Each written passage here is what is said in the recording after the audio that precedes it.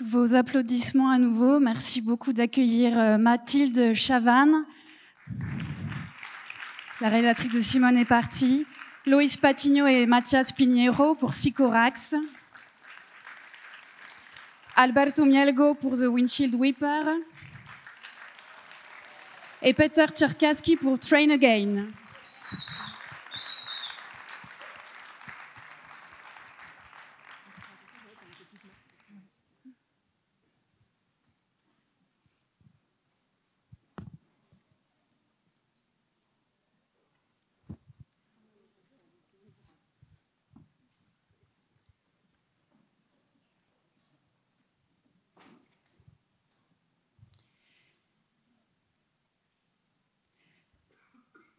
Bienvenue à, toutes et tous. On était ravis de, vous rassembler et de vous réunir euh, dans ce programme. On a traversé des, univers euh, extrêmement différents, euh, mais peut-être une question qui va voilà, vous concerner toutes et tous, c'est celle du, point de, départ.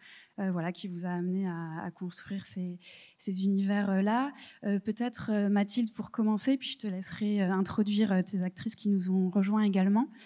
Euh, tu dédies ton film à tes grands-parents. Est-ce que tu pourrais revenir un petit peu sur euh, le processus d'écriture du film et aussi comment vous avez travaillé euh, ensemble à habiter ces autres corps quelque part? Uh, first of all, um, a question for each uh, of you. Uh, what was the starting point of your films? And first, Mathilde, uh, you dedicated this film to your grandparents. Can you tell us about the writing process and how you worked with your actresses who are here? Euh, oui, donc déjà Chloé euh, Besson et Chara Afoui qui sont venus avec moi. Euh, le point de départ du film, il est un, peu particulier. C'est en fait le producteur Nelson Grenacia qui a monté une collaboration avec le Conservatoire national supérieur d'art dramatique de Paris et qui nous a demandé à, à cinq réalisateurs et réalisatrices de faire un film avec des étudiants de deuxième année. Euh, et donc, en fait, on m'a euh, donné six, euh, six, comédiens et comédiennes. Et, et, je pouvais faire ce que je voulais avec cette grande limite qui est un budget petit et, et tourner à Paris. Et en fait, il m'a enfin, appelé en juin dernier. Et du coup, en juin dernier, on était tous un peu. On sortait d'un premier confinement un peu inédit, intense et aussi enfin qui m'avait pas mal questionné puisqu'il se trouve que les personnes âgées pendant ce premier confinement et notamment dans les EHPAD, euh, comme on le sait, elles ont été un peu oubliées, très mises de côté. Et euh, moi, ma grand-mère était décédée juste avant ce premier confinement et mon grand-père, du coup, s'était retrouvé euh, seul dans un EHPAD dans lequel il était depuis à peine trois semaines, dans ce contexte très difficile. Et quand du coup Nelson m'a contacté pour faire quelque chose, euh, je me suis dit que c'était peut-être l'occasion de trouver une forme euh, qui, les, euh, qui, les, qui, qui évoque mes grands-parents. Et à la fois, j'avais six corps d'acteurs qui étaient très jeunes. Et du coup, je, je me suis demandé comment faire quelque chose. Et je me suis dit que peut-être que ça pouvait être intéressant de donner, à voir des scènes de la vie de mes grands-parents euh, que j'imagine en fait, puisque l'idée c'est d'aller chercher des scènes. Euh, c'est trop long euh, pour. Euh, l'idée c'était de, enfin moi de d'imaginer ce que pouvait être leur quotidien avant qu'ils meurent. Euh, donc c'est des scènes que j'ai imaginées. et je voulais dire autre chose. Je vais, du coup, je vais traduire. Ouais.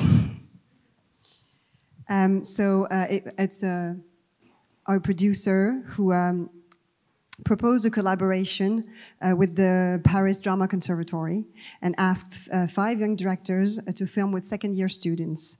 Uh, so I could do uh, what I wanted within a small budget, of course, and the shooting had to take place in Paris. It was last June, um, in June 2020, right after the first lockdown, which was pretty intense, and during which elderly people were uh, in a way put aside. And my grandmother had just died before this first lockdown, and my granddad had just arrived on his own in a retirement home. So it was very, very hard for him. And I thought this film would be an opportunity to find a form to evoke them. Uh, and I had at my disposal young bodies, so I thought it would be interesting to have them enact scenes that I imagine of what their daily life could have been. Est-ce que vous voulez rajouter euh, quelque chose peut-être Parce que j'ai dit euh, des corps de jeunes acteurs, mais en fait, c'est au-delà de ce sont des personnes, pas juste des corps. C'était un peu maladroit comme expression. beyond bodies, they are actors, of course, people.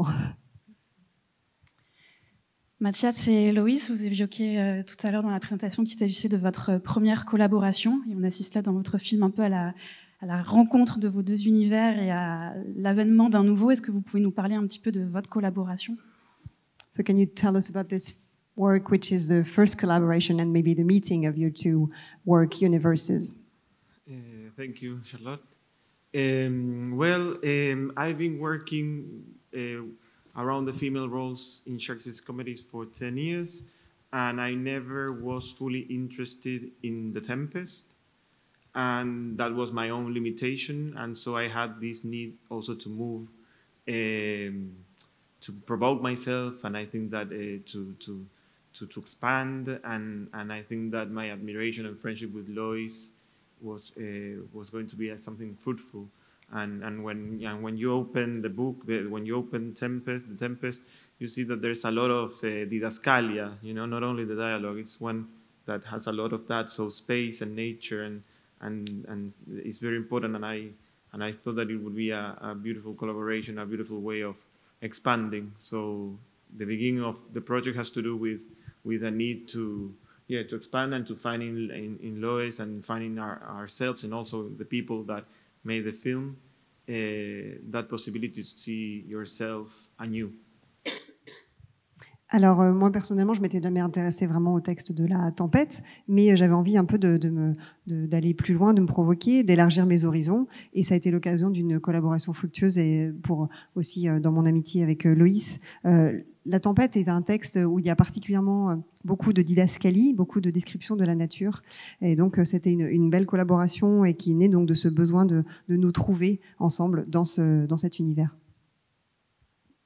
And it was very helpful to to have a, a, the tempest in between us, no? Because Matthias comes from a place where theater, dialogue, actors uh, are a very important presence, and in my cinema is more silent, contemplative. So having this place in between this this work to project our views or to find uh, interesting points for for all of us, uh, it was very very helpful, and. And we are planning to make a, a future film uh, that is based on, on another character of the Tempest, Ariel, that is the, the spirit of the nature. And here we, we worked with the, this other character, uh, Psychorax, that in the, in the play, uh, she has no voice, she has no face. So we work around that uh, hypothesis, no? Which face, which, we, we, uh, what will she say if she had a voice? Alors, euh, en fait, c'était une bonne chose qu'il y ait ce texte de la tempête entre nous deux. Euh, Mathias vient du théâtre, donc pour lui, c'est très important le dialogue, les comédiens.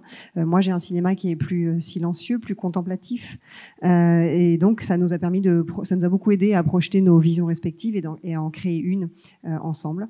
nous prévoyons un autre film sur un autre personnage de la tempête, le personnage d'Ariel. Et là, pour le personnage de Sycorax, c'est un personnage qui n'a pas de voix et pas de visage, donc ça nous a intéressé de, de, de créer ça, de lui donner un visage et une voix. Thank you very much. Alberto, euh, tu es également euh, peintre. Euh, voilà, et je voulais que tu nous racontes un petit peu ta relation entre la peinture et le cinéma, et peut-être que tu reviennes plus particulièrement sur ta technique d'animation qui est si unique et si singulière. So you're also a painter. Uh, so uh, what is your relationship, uh, the relationship that you have between painting and cinema and your work? And what is the technique, the animation technique that you used in your film? Well, yeah, I'm a, I'm a painter and I basically like to look. I, I guess that I have, uh, since I was born, I was actually talking with my friends the other day that I have memories uh, from even when I was two years old. And this is actually a fact because I moved out of the house when I was kind of like two and a half, and I still have memories of that. So for some reason, I have like uh, some sort of like a visual uh, obsession with things. So I'm I'm an observer, and uh, painting and animation they are like very linked. And a lot of people ask me about the technique, but it's very much um, similar to what Bambi or the old Disney films they were doing uh, just like a nice background with a cool character running in front. Uh, but now uh, 3D animation is super sophisticated, and I think that we are losing a little bit the artistry um, on that sense.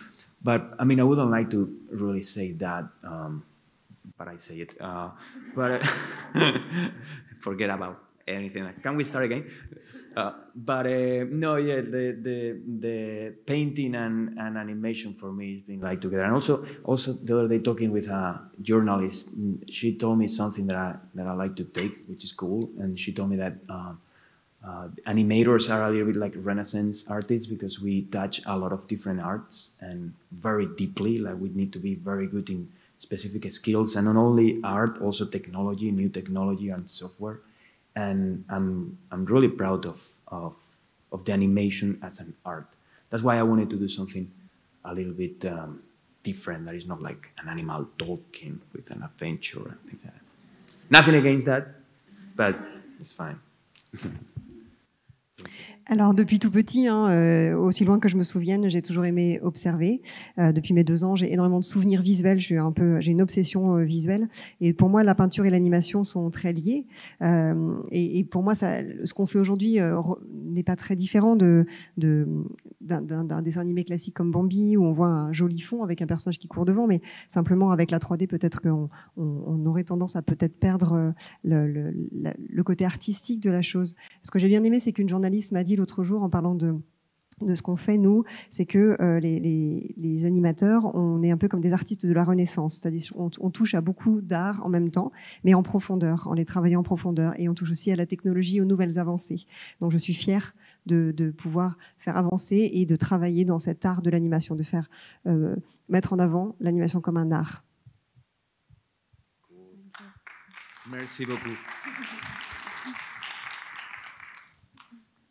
Avant de vous donner la parole, bien sûr, Peter, euh, maintenant qu'on a découvert le film, on est voilà, très curieux, comme vous l'évoquez en, en, présentation, d'en savoir plus sur euh, voilà, les procédés utilisés euh, et qui sont à l'œuvre dans votre film. So we're now very curious to know more about the techniques that you use in your film. Um, it's a very simple, basic technique. I, I stand in the dark room. I have raw, unexposed footage, and on top of that footage, unexposed raw footage, I lay found footage.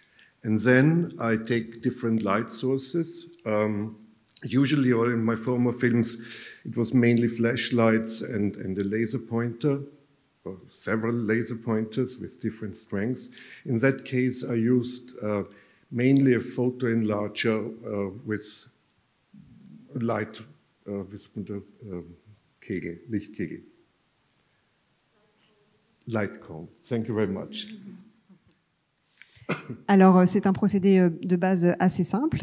Euh, donc, je suis dans la, dans la chambre noire et j'utilise donc à la fois des images brutes, des non encore exposées, et puis des images d'archives que je, donc je superpose et je les éclaire de différentes manières avec différentes sources de lumière. Alors, selon mes films, je peux travailler donc soit avec des, des lampes de poche ou avec des, des, pointeurs laser ou alors avec des sortes de projecteurs qui ont une, une sorte de chambre lumineuse comme ça qui, qui So we are talking about one meter of film, which equals two seconds of projection time. And once it is, has been exposed with a light cone, I hand process uh, that meter uh, to a table next to my uh, main work table. And then I go to a light table and see what I've done.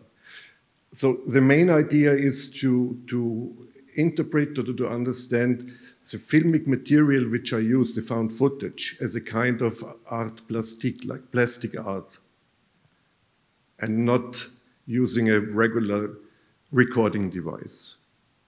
And that is important because we are experiencing the end of analog cinema. And it's my way of saying goodbye to analog cinema by making it visible, and not only the material visible, but making visible the possibilities which we are losing when we lose analog cinema.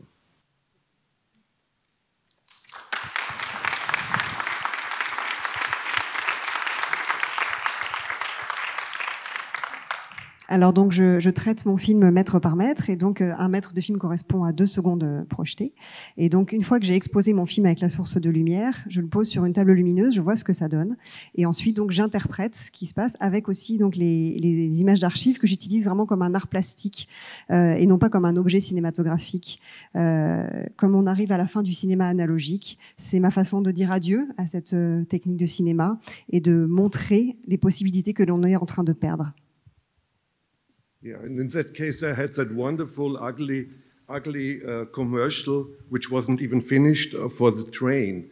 And I looked at the footage and I immediately knew that I have to do something with that. Uh, you know, the train coming out from the tunnel and, and moving uh, along the, the um, Schienenstrang, the rail, rail, rail tracks. Thank you.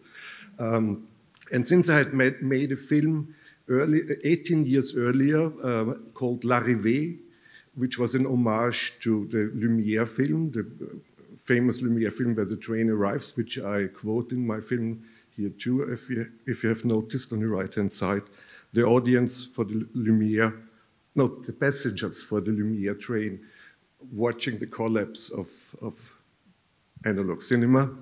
Uh, I thought of the title Tree Again by Kurt Gren, who had made a film about trees, and 18 years later, another tree film, which he called Tree Again. And that's the homage to Kurt Gren. Explains the title. Euh, alors en fait, oui, j'ai utilisé. Euh, oui, j'ai utilisé euh, notamment une publicité assez laide hein, pour euh, un train qui était une publicité mais encore inachevée même euh, quand on voit le train qui sort du tunnel et qui avance sur les rails. il se trouve que j'avais fait un film il y a 18 ans qui s'appelait L'arrivée, qui était un hommage au film des Frères Lumière, le train arrivant en gare de la Ciotat. Et là, j'ai utilisé un petit peu des images, l'image non pas l'image du train, mais l'image du public qui est dans la salle. Et donc, pour moi, c'est le public qui regarde l'effondrement du cinéma analogique. Et euh, ce, ce, film, ces deux parties, j'ai appelé mon film Train Again, euh, en hommage à Kurt Crane, qui avait fait euh, un film qui s'appelait Trees, Trees in Autumn, je crois. Et il a fait 18 ans plus tard un autre film qui s'appelait Tree Again. Just one single word on Kurt Gren. Kurt Gren is besides uh, Peter Kubelka, both Austrian, more or less the inventor of serial cinema, cinema based on strictly mathematical uh, rules. Late, in the case of Kubelka, late 50s, in the case of Kurt Gren, starting with 1960. And he was one, Kurt Gren, both uh, one of my heroes or gods, you might say, also highly and deeply inspiring for, for, for myself also, to get into, into filmmaking. So I think that was a good chance for me to remember Kurt Gren. If you don't know him, check him out. You should find him on the internet or DVD by Sixpack Film.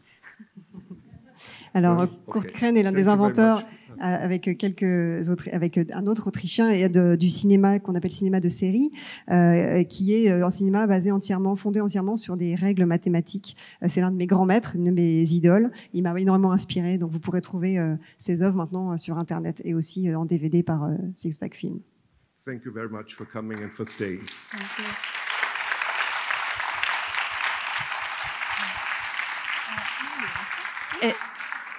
Est-ce qu'il y a des, un petit instant, Peter? Uh, if there are some questions in the there audience, might be some questions maybe? from the audience as well. Oui, il y a une main ici, il y a un micro qui va arriver dans 4 secondes.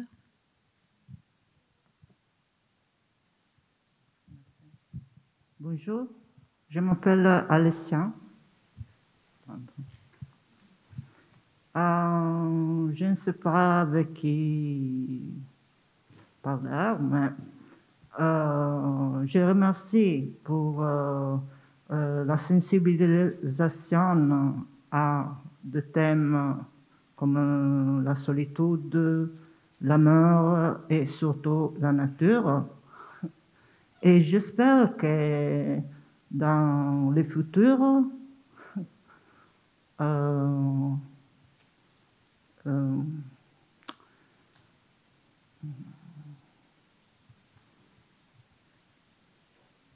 Est-ce que vous avez une question?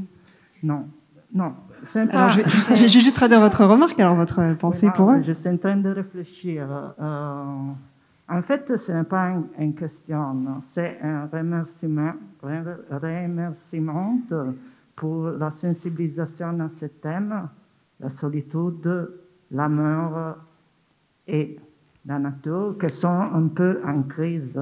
Merci beaucoup. Voilà. Merci. Alors, j'espère qu'après le Covid, cette période de confinement, euh, le- les aides alleront en tel sens pour améliorer la vie de tous. Et merci parce que c'est très, très bonne représentation. Merci. So, so it's essentially a big, big thank you to all of you uh, for your films, which raise awareness on different topics: uh, loneliness, death, and also nature, which are uh, um, things that are in crisis at the moment, who are very sensitive. And we hope that in the future there will be support for people and those uh, areas, environments. Est-ce qu'il y a une autre question Oui, au deuxième rang.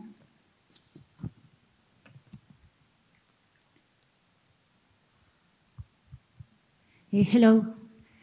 Eh, this is a question for Lois and Matthias. So I loved your film, and I would love if you can explain a little bit how it was to work together in such a different ways of aesthetics that you have.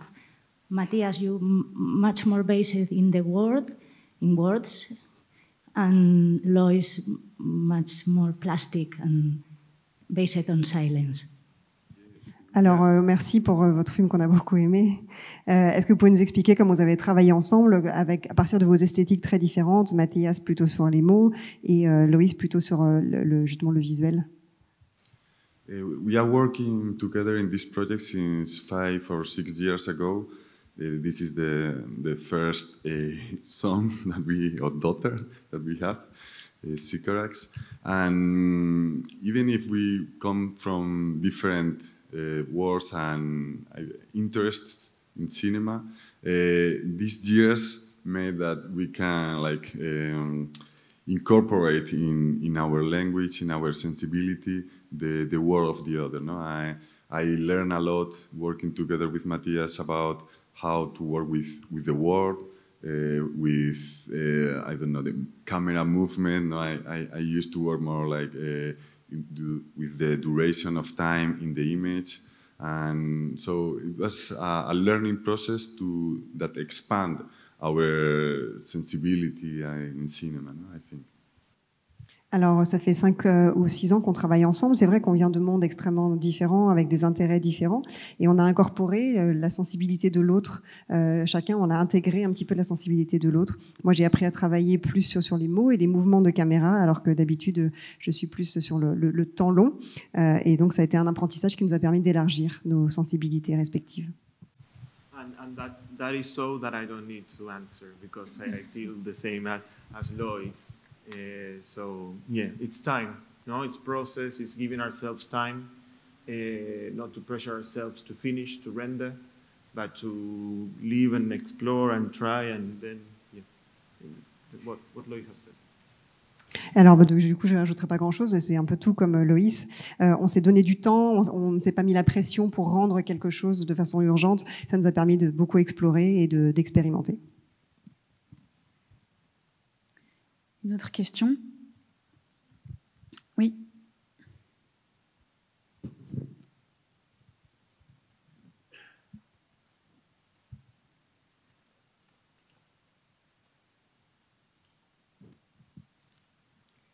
Je, vais poser la question en français. Comme ça, euh, Peter Tchakask ne comprend pas ce que je dis. Euh, I'll, I'll talk in French first. Euh, c'est un, un film, euh, certes dédié à Kurt Crane, mais à d'autres pères hein, dans ce film qu'on peut voir euh, directement. Il y a Marcel Duchamp, Fernand Léger, mais aussi Kubrick, et, si j'ai bien vu, euh, et d'autres films encore qui, qui planent dans ce film. Alors, j'ai vu ou senti à la fois de la terreur et peut-être avec Duchamp aussi, euh, euh, avec Marcel Duchamp, de l'érotique. Alors, comment est-ce que, est que euh, cette, cette tension émotionnelle a été travaillée grâce à la bande sonore également? So it's a question for Peter.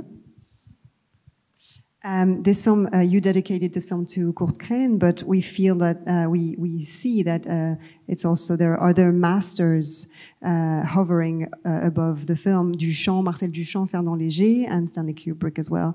Um, the film um, conveys some terror, but also some erotica. So, can you tell us how you worked that emotional tension um, into the film, especially uh, with the score, maybe the musical score? uh, well, basically, what I try to achieve is uh, to compare the cinematic experience uh, which we have in cinema uh, with with uh, with an experience we have when we are riding a train and looking out of, of, the window, and the, space moves by, landscape image is constantly changing. That's one thing. And then I started to fill up that space, which we see or not see, don't see because we are looking at the train, uh, with, with images from, from, from history, uh, film history, especially from the film history of, of the avant-garde, which happens to be in many cases French avant-garde, um, simply to, to, to connect my own work with that kind of, of, of movies, films. Shouldn't call it movies, but films? Alors, euh, j'aime comparer l'expérience cinématographique avec euh, l'expérience que l'on vit quand on est dans un train et qu'on le regarde par la fenêtre et qu'on voit le paysage changeant en permanence. Euh, et ensuite, j'aime remplir cet espace avec des images évoquant l'histoire du cinéma et notamment de l'avant-garde qui se trouve être beaucoup française pour lier mon travail avec ces films. And, and, and, and since I'm always trying in my films also, to achieve something which I call physical cinema, uh, meaning to, to create an experience for you, for the audience, for all of us, including myself, of course, uh, which is nearly physical. As a, uh, um, you might call it erotic.